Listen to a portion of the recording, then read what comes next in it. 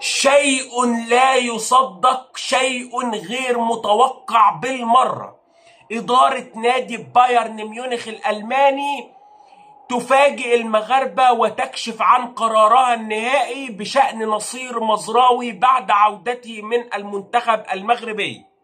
ولكن قبل الدخول في التفاصيل لو كنت من عشاق ومحبي النجوم المغاربة والمنتخب المغربي أتمنى تدعمني وتشرفني بلايك للفيديو والاشتراك في القناة وتفعيل زر الجرس حتى يصلك كل جديدنا خلال الفترة القادمة. بشكل رسمي إدارة نادي بايرن ميونخ الألماني أعلنت عن قرارها النهائي بشأن نصير مزراوي بعد منشوراته الداعمة للشعب الفلسطيني العظيم.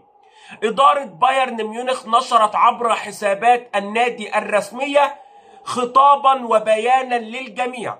يؤكد أنه بعد مناقشة مع نصير مزراوي حول منشوراته الأخيرة الداعمة لفلسطين فقد قررت إدارة النادي عدم توقيع أي عقوبة على النجم المغربي نصير مزراوي ولكن البلاغ والبيان نفسه أكد أن نصير مزراوي سيغيب عن المباراة القادمة للفريق الألماني في الدوري الألماني بسبب تعرضه للإصابة مع المنتخب المغربي خلال المعسكر الأخير.